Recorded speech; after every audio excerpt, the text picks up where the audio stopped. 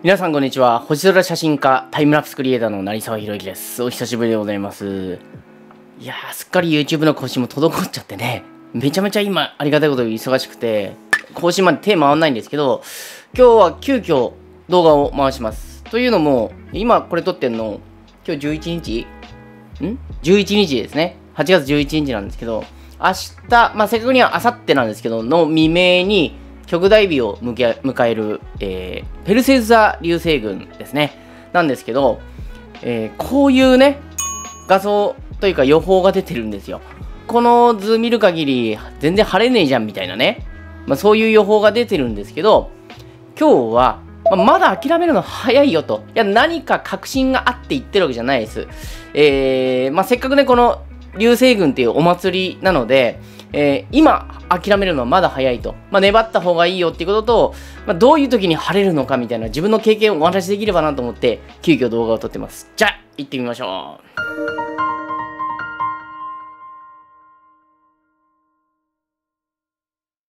最初に言っておくと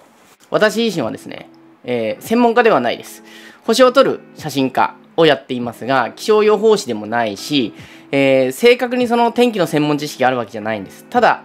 えー、今もう10年ぐらいこの撮影やってるんですけど、えー、その中の、まあ、統計学っていうわけじゃないですけど結構ね私はねこうデータを、えー、取って検証するっていうか、まあ、そういうことをするのが好きなので、えー、いろんなまあノウハウというかそういうのがあるんですよね。だからそういう観点で自分の体験からして、まあ、こうじゃないのかなみたいなのをお話ししようと今日は思っています、えー、今回台風来たでしょ。もうねこの流星群とか天文現象にえー、合わせてですね、こう台風とかが来るっていうのは、なんだろう、もう左半時なのかなと、もうジンクスなのかなっていうふうに思うんですけど、この台風のね、ちょっと愚痴から言っていいですか？あのー、いつもね、日本に来る台風ってのは、西から来るんですよ。まあ、その南の方で台風が発生して、そのままこう北上して、え中国に行くのか日本に行くのかみたいな感じのルートをたどるわけですね。で、そこから、あのー、日本の偏西風に乗って、えー、東にこう移動してくると九州からこう、えー、日本列島をこう横断していくような感じの台風が一般的なんですよ。でこの時にですね台風一過っていうのがあるじゃないですか。台風っていうのが時計回りに回ってるんですよね。でこう西から東に移動しながらこう時計回りに回っていくと、えー、通り過ぎたフィニッシュがですね北風になるわけですよ。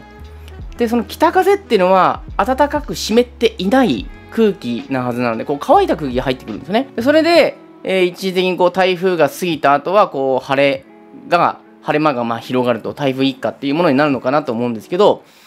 今回の台風って、まあ、南からこう東側千葉の方を通ってくる東から来るじゃないですか。この手の台風数年前だと全然見なかったので最近なんかよく見かけるようになった気がするんですけど、えーと、こういう台風だとこう時計回り回っていくとね通り過ぎた後が南風フィニッシュになるんですよ。つまり暖かく湿った空気がこう入ってくるので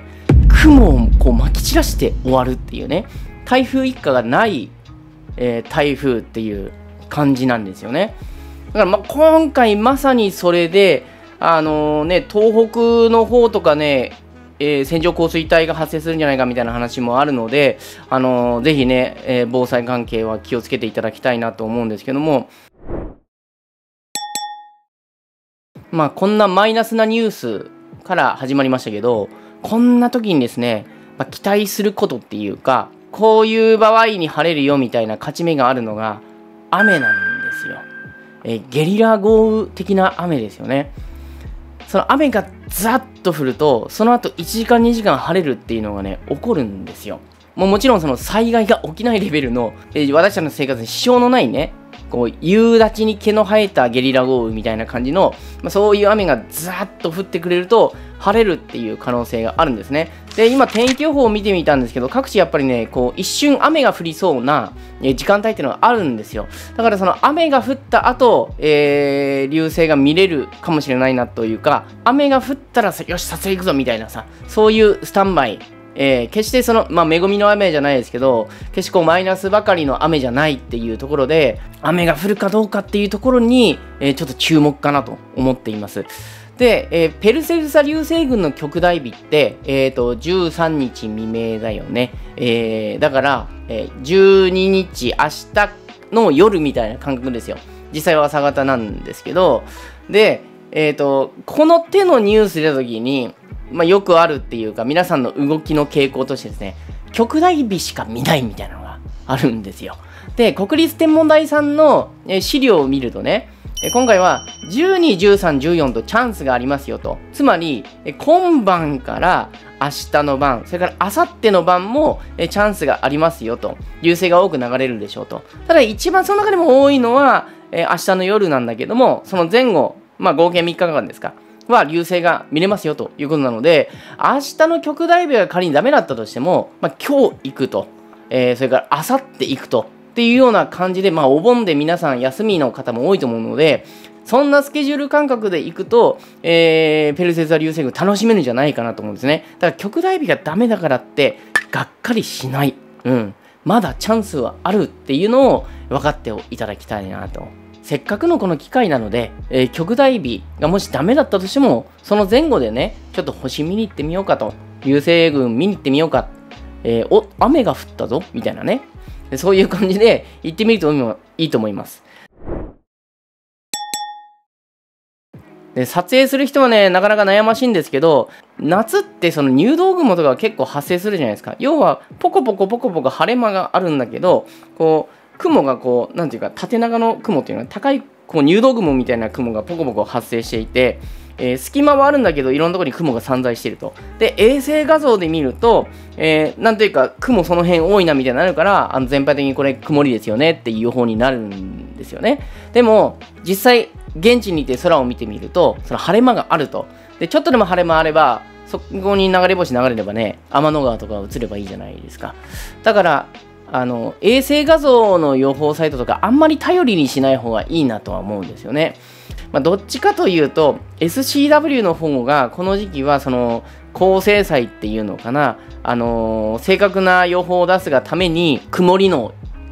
予報が出やすいんですよ。ウィンディーを使った方がまだそういった点ではあのー、細かくない天気予報が出て今の天気予報にマッチするのかなと。あと私が以前に紹介したクリアアウトサイドとかね、ああいうのを見ると何時何分に雨が降るとか、えー、雨量、雲量がどのぐらいだよみたいな感じの予報も出るので、えー、そういった天気予報サイトも利用するのもいいかなと思います。はい、というわけで、えー、今日はですね、もうペルセウス座流星群明日だし、まあ、ペルセウス座流星群の情報を出している方いっぱいいらっしゃるので、まあ、私が、えー、出す情報っていうのはまあこんなもんかなと思います。予報は最悪な感じなんですけども、雨が降ったらチャンスがあるんだなと。で、雨降ってから行ってもダメですからね。えー、あこう行って雨を待つっていうのが一番いいと思いますんで、そんな感じでですね、えー、今回のペルセウス座流星群でなんとか流星をゲットしていただければなと思います。えー、私はですね、えー、明日ペルセウス座流星群はですね、いつも日本旅行さんの星空撮影会があるんですよ。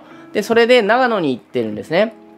で、長野もね、こう、雨が降る予報の時間帯があるので、そこがチャンスかなというふうに思ってますけども、まあ、うまいこと言ったらね、あのー、まあ、12時過ぎてからかな、深夜過ぎてからとか、で、ライブ配信したいなとは思ってますので、まあ、期待しないで待っててください。はい。というわけで、えー、今日は久しぶりの更新でしたが、えー、ここまでになります。また次の動画でお会いしましょう。さよなら、バイバイ。したっけねどうもどうも。